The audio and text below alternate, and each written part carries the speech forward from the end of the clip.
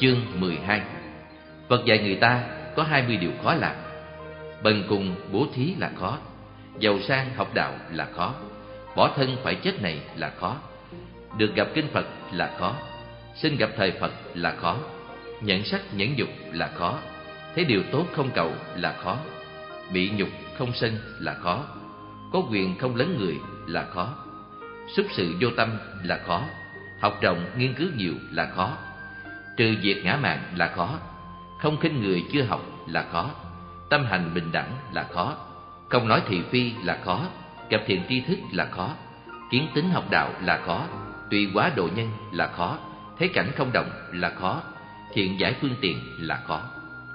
Chương 12 này lượt nêu lên 20 điều khó Để khuyên răng dạy. Thuận theo thế tình thì dễ, Trái thế tình thì khó. Song nếu có thể phát quyết tâm mạnh mẽ Thì tuy khó mà dễ còn chỉ thuận theo thế tục Thì có dễ cũng thành khó. Phàm nghèo khổ mà dám bố thí là khó Nên giàu chỉ thí chút đỉnh Cũng được phúc rất nhiều Nên cố gắng bố thí vậy. Nhưng hiện nay Thấy rất nhiều người nghèo biết bố thí Trái lại nhiều người giàu lại không chịu bố thí Do nơi bỏ sẻn vậy. Giàu có, học đạo có Cứ xem chuyện bố thí đủ biết. Con người quý trọng nhất cái thân này Nên dám xả thân này. Tất là việc không thể làm nổi. Nhưng lại chưa từng nghe có người sợ chết, Lo giữ thân mạng mà được sống hoài không chết, Nên cần gì mà tham thiết Kinh Phật khó gặp, Nay may được thấy Kinh Phật, Nếu không suy đến cùng lý, Thấu rõ tinh túy, Thì khác gì kẻ không gặp. Khó xin gặp Phật, Nay may gặp đời có Phật, Mà không tiến tu kịp thời, Khác nào thời không có Phật. Sắc dục tuy là điều ưa thích của tình ái, song xét kỹ thì vui ít, khổ nhiều. Hoặc quán sắc dục như quyển như ảnh Tất không khó nhận chế.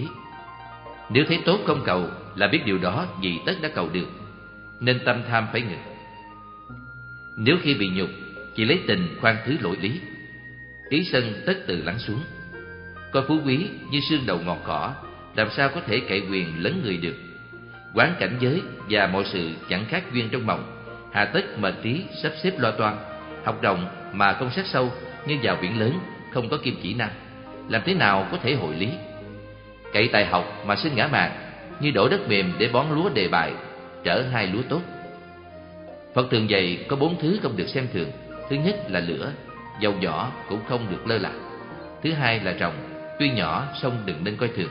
Thứ ba là dương tử, Tuy nhỏ nhưng không được xem thường. Thứ tư là sa môn, Tuy trẻ song đừng nên coi thường. Này khinh thường người mới học Là do chưa biết điều không nên xem thường. Tâm bình đẳng ác cúng nang thắng như lai, Phúc cũng đồng, với cúng gã ăn xin nghèo hèn. Hết thị phi, Tất hết cả mọi pháp đều là Phật Pháp. Chưa bỏ hết tình kiến thị phi, Quyết không thể thấy được Pháp giới, Chân thiện, tri thức. Không thấy được thật tính của tâm, Nơi một niệm hiện tiền, Quyết không thể học đạo vô thượng Không học đạo xứng tính quyền thật, Không thể tùy quá độ nhân. Chưa đạt được phương tiện tùy quá độ nhân, Làm sao có thể nhìn sự cảnh thật Pháp giới? Mà vẫn nhất tâm bất động. Nếu không thể trong mọi Pháp giới Thấy đủ sự lý của tất cả Pháp giới, Làm sao khéo hiểu phương tiện đồng thể được? Nên biết hai mươi điều này Càng sao càng khó hành hơn trước vậy.